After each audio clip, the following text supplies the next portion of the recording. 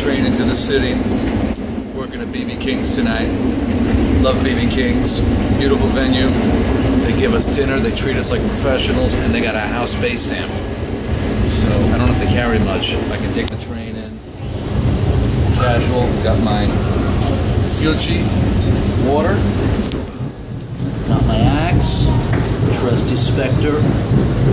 Rebop Deluxe 4 string black cherry burst finish. Bag